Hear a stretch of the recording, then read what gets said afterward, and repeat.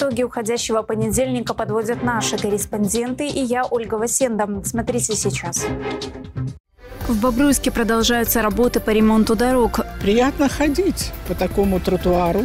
Где нашли столетнюю брусчатку? Без труда Могилевчанка вместо денег заработала срок. Все получится, сто процентов. Сколько светит любительница легких денег?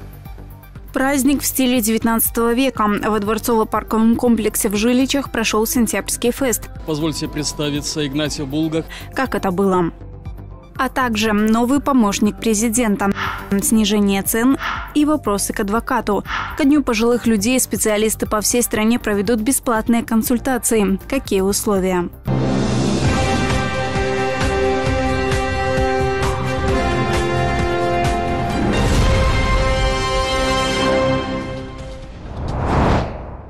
Списке 14 фамилий. У президента прошел кадровый день. Помощником главы государства и инспектором по Гомельской области становится Юрий Горлов. Александр Лукашенко также согласовал новых председателей райисполкомов. С этого дня в должности генерального директора Бобруйска Громаша вступает Олег Корсак, а на Тельмаш Роман Трубецкой. К тому же меняются заместитель министра природных ресурсов и охраны окружающей среды и экономики. И это еще не полный список назначений. К вам сейчас придут и будут рассказывать, что то или иное невозможно. Но, как я часто говорю, мы же не на войне. Мы делаем в мирное время то, что всегда делали и что умеем делать. Заставить своих подчиненных это сделать. А Витебская и Гомельская область, Могилевщина, ну это железный контроль. Хватает вопросов в Брестской области, и если движение идет по кадрам, особенно, как я тут читаю, по соглашению сторон, это значит, бывшие руководители не очень-то справлялись на этой должности. Поэтому я вас очень прошу. И еще раз подчеркиваю, Компартии нет. Все в ваших руках. На заседании Александр Лукашенко затронул тему предвыборной кампании. На парламентских выборах необходимо поддержать достойных, патриотичных людей и профессионалов своего дела. Для эффективной работы идеологическая составляющая имеет первостепенное значение, подчеркнул президент. Жительница Могилева хотела заработать и попала на срок. 28-летняя жительница областного центра на объявление наткнулась на просторах интернета. Предложение легко заработать не оставило равнодушной женщину. Все, что требовалось, оформлять банковские карты на себя и передавать реквизиты работодателю. Взамен ей обещали 90 рублей. Однако куратор на этом не остановился и велел своей жертве найти еще таких же посредников. Он вам их заплатил? Нет. Почему? предлагал, что если второго человека я найду, тогда все получится, сто процентов, и тогда ну, как бы все это пройдет, тогда заплачу. Но в итоге я ему человека не дала и пропал, перестал уходить на связь. Таким образом, она оформила несколько карточек. Общая сумма нелегального денежного оборота составила более 55 тысяч рублей. Мошенники в интернете продолжают отмывать деньги, обманывать наивных пользователей, тем самым переступая грани морали и закона. МВД напоминает, за продажу реквизитов банковских карт предусмотрена уголовная ответственность. Беспошлинный ввоз, новации в образовании и запасы на зиму. В Минлесхозе идет активная подготовка к отопительному сезону. Почем дрова? Громкие заголовки дня далее в специальном обзоре.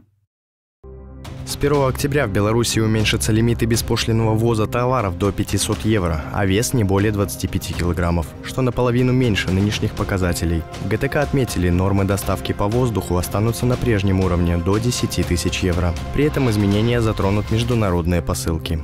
В март заявили о рекордно низком темпе роста цен в Беларуси. За прошедшие 8 месяцев показатели увеличились всего на 2,3%, а это исторический минимум. В августе и вовсе было зафиксировано снижение стоимости товаров. Все благодаря решению правительства о введении особой системы регулирования, которая действует с ноября 2022 года. В Беларуси предложили зачислять медалистов в региональные вузы без экзаменов. Минобр поддерживает идею ввести для таких абитуриентов нижний порог среднего балла аттестата. Плюс предоставить право выпускникам инженерных классов поступить на специальности технологического профиля без вступительных испытаний. Такая практика уже есть в отношении учащихся педагогических, аграрных и военно-патриотических классов. В Минлесхозе идет активная подготовка к отопительному сезону. К 1 октября на складах должны быть сформированы запасы топлива. По стоимости 1 кубометр дров обойдется в 15-20 рублей. Объемы практически созданы. В холодный сезон у белорусов пользуются спросом смешанной породы. Плюс на торговых площадках предлагают доставку прямо к дому. Бесплатные консультации накануне Дня пожилых людей 29 сентября проведут адвокаты. Главное, чтобы это не касалось предпринимательской деятельности и не требовало ознакомления с документами. На практике во время таких акций людей чаще всего интересуют вопросы, связанные с семейными отношениями, социальной поддержкой, а также трудоустройством и исчислением стажа. С 26 по 29 сентября в Бобруйске районе пройдет проверка систем оповещения. Сигналы горожане могут услышать с 9 до 17 часов. При этом МЧС просит сохранять спокойствие и не паниковать. Включение подобных сирен, которые называются сигналом э, «Внимание всем», они включаются в случае возникновения чрезвычайной опасности. И своим громким продолжительным сигналом они информируют людей о произошедшей чрезвычайной ситуации. Звук сирен распространяется в радиусе 400 метров. Как пояснили в МЧС, это необходимо для того, чтобы убедиться в их технической работоспособности и качественной сработке в случае возникновения ЧП или стихийных бедствий. В Бобруйске продолжается ремонт дорожного покрытия. Некоторое время назад начался апгрейд на отрезке от Минска до центрального пляжа. Сейчас работы ведутся в районе санатория имени Ленина на спуске к реке. Мы обратили внимание, что все дороги сейчас у вас благоустраиваются. Если пройти вот туда, с другого угла нашего санатория, там уже сделали тротуар. Приятно ходить по такому тротуару. Э, чистенько, аккуратненько. Центр особенно чувствуется очень хорошо. Кустики подрезаны, все прочищено. Вот говорят про Минск, что он очень чистый город привлекает много туристов, но я не могу сказать, что у вас чем-то хуже. При срезе асфальтового слоя рабочие обнаружили старую брусчатку. Столетнее покрытие служило дорогой к водоему, а после использовалось как основа под асфальтобетон. Брусчатка, несмотря на время, неплохо сохранилась. На ее месте в планах укладка нового полотна. Также в этом районе планируется полностью заменить проезжую часть и обновить тротуары. Дворцово-парковый комплекс жилища после долгой реставрации распахнул свои двери. В честь масштабного события на территории комплекса развернулся настоящий бал. К исторической эпохе прикоснулась и Елизавета Липеева. Позвольте представиться, Игнатий Булгак. Это моя жена Тереза Булгак.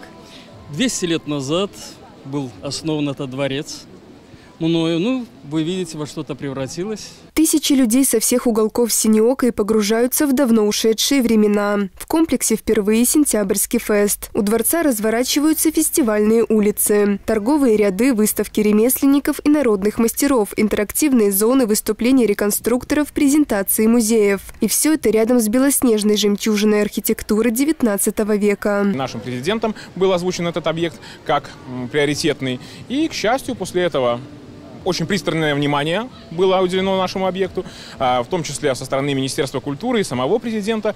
И в этом году мы рады уже принимать гостей полномасштабно.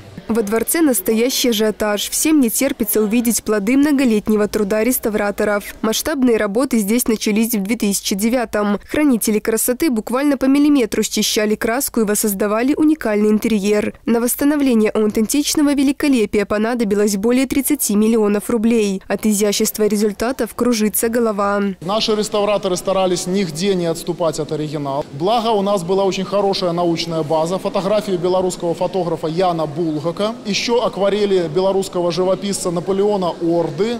Ну и плюс, конечно же, исследования здесь на месте. Основная экспозиция включает 12 залов. Каждая комната поражает не только своей историей, но и схожестью с первозданным обликом.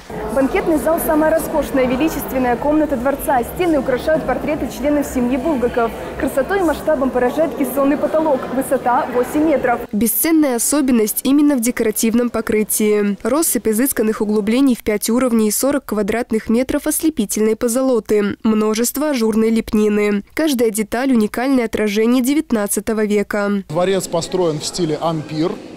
Это наследие Римской империи и империи Наполеона Бонапарта. Самый великолепный стиль, который только можно было себе придумать. Наш Игнатий Булгак знал, что выбирать, когда строил этот дворец. С оглядкой на историческую эпоху. Галантные кавалеры в белых перчатках приглашают на танец элегантных дам в изящных нарядах. Бальный зал по-настоящему оживает и в вихре танца под классическую музыку переносит всех гостей в далекий романтичный век. Мы готовились эм, месяца три к этому балу, репетировали очень много все исторические танцы, вальсы, вот полонез. Это мероприятие, это просто какая-то сказка. В нашей такой обыденной жизни это просто праздник такой.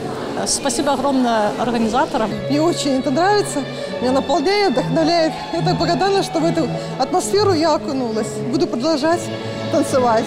Это, конечно, восхитительно. Дворцово-парковый ансамбль в Жиличах – историко-культурная ценность международного уровня. В этом году памятнику архитектуры исполняется 200 лет. И сентябрьский фестиваль такого масштаба, несомненно, претендует стать славной традицией. Елизавета Липеева, Дмитрий Шевцов, Бобруйск, 360. Это все из событий к этой минуте. Смотрите нас в интернете и соцсетях. Мы в эфире каждый будний вечер. Счастливо!